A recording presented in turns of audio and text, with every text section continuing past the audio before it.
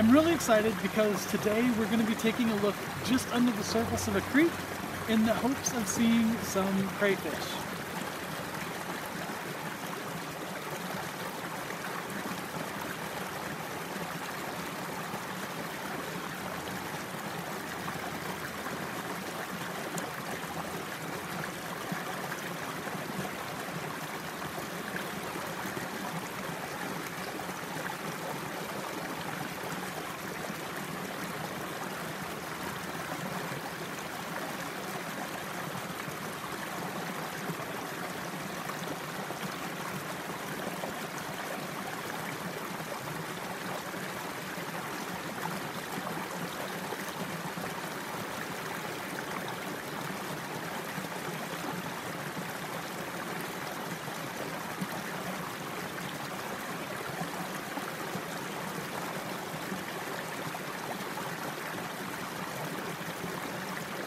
What did you see in that set?